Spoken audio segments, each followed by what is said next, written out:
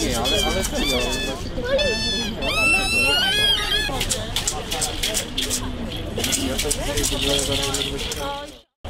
O Marzarnie w Polsce wiemy już od jakiegoś XVI wieku z różnych dokumentów, czyli musiała być dużo, dużo wcześniej.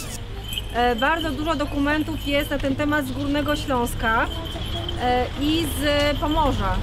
Tam było to bardzo, bardzo tradycyjne e, i bardzo długo e, świętowano e, boginię Marę, którą znamy też z Łotwy i z innych krajów, z Czech też, Mar- Morenę.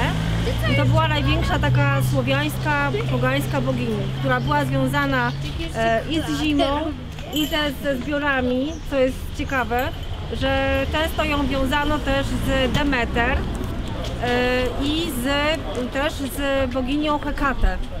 Czyli jakby była związana z, z tym, co jest związane ze śmiercią i z tym, co jest związane ze żniwami. E, Często też taką marzannę, podobną kukłę e, w czasie dożynek w niektórych krajach wynoszono.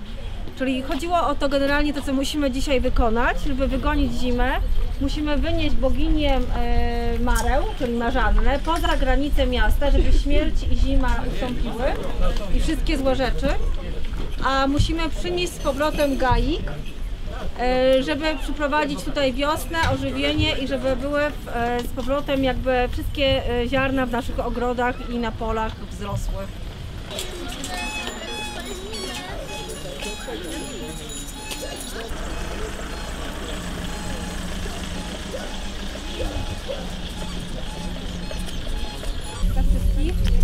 Czy ktoś widział bociana? Dzisiaj nawet. O, to super.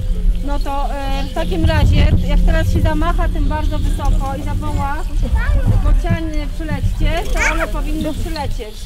Bo tak, takie łapy wieszano na drzewach e, albo wkładano do gniazd bociani tłustych, żeby bociany przyleciały znowu i wtedy będzie uzdrowione.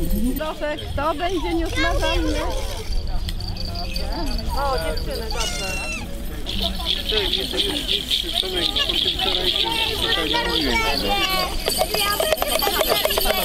są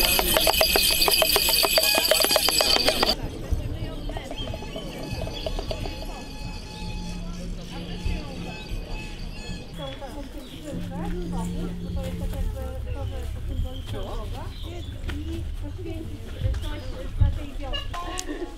A ponieważ woda, woda Jedną zapałkę na mnie. Słuchajcie się, uwaga, uwaga.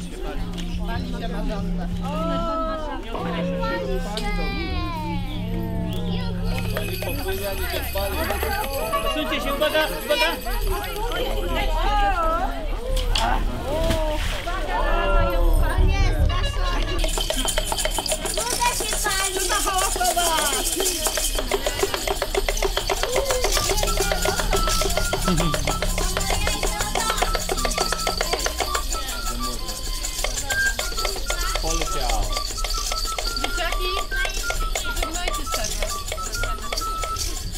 już,